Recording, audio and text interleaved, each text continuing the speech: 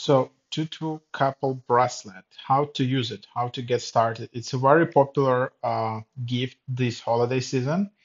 This app was there for a while, but it's just getting more and more traction recently, and it's a really uh, interesting, nice gift. So how it works, basically, you just bought a pair of bracelets, and now you know you want to tap on those bracelets, and then you want to feel vibration or, or any other like signal on another uh, bracelet. How it works that you need to connect each bracelet to each separate phone, uh, and on that phones you need to have this Totwoo app installed. So like you and your partner, you need to have two phones. It's not possible to add two bracelets to one phone. Nope. You, for example, you have two iPhones, two Androids. By the way, this app is on Android, on iPhone. So just get this app and then create accounts. So each of you should have separate accounts created. To create an account, super easy. You just uh, enter with your phone number, just receive confirmation code, and then you should be good to go. And then what it uh, after you created your account, just tap add partner, and then just what you need to do, select your uh, you know the partner from the contacts, and then just uh, invite registration, uh, send send them uh, the you know hey I want to experience a special connection with you. Could you please download Totwoo app now? So then just send this notification to your partner. Just make sure that they're using the same phone numbers they used for registration. So you can just do that.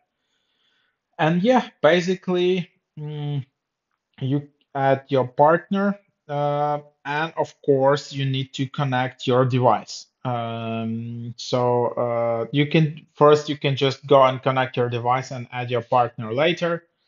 Uh, so yeah, just tap next, and then you can just enable Bluetooth, and then just uh, connect to the device via Bluetooth, similar as you pair up any other, you know, like Bluetooth headphones, whatever here.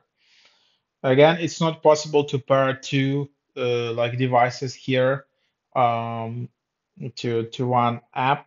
Each of you should have separate phone, separate account, and then connect their own device to to their own phone because otherwise, just not gonna work. And then yeah, that's how it works. Then if you if your Bluetooth if your Totwoo account is connected via Bluetooth, then and your partner's device is connected via Bluetooth, then it should work. You should be able to tap on it and then just send messages to all of the things depending on your model. Yeah, like the, the biggest challenge here, why it doesn't why it doesn't work, probably just because your device uh, got disconnected from phone. Um, so just to avoid that, just keep uh, just keep your phone in the range uh, with your device. Turn off the Bluetooth so you can log in and log back to try to reconnect. You can go to their help centers to try it out. That yeah, uh, bottom line is this device obviously doesn't work without phone. I understand. So if you have your phone in some one place and your bracelet in another, it's just not gonna work. So it will just work like as a jewelry bracelet without all the smart features. So yeah, here you can just also see some other uh, things. Um,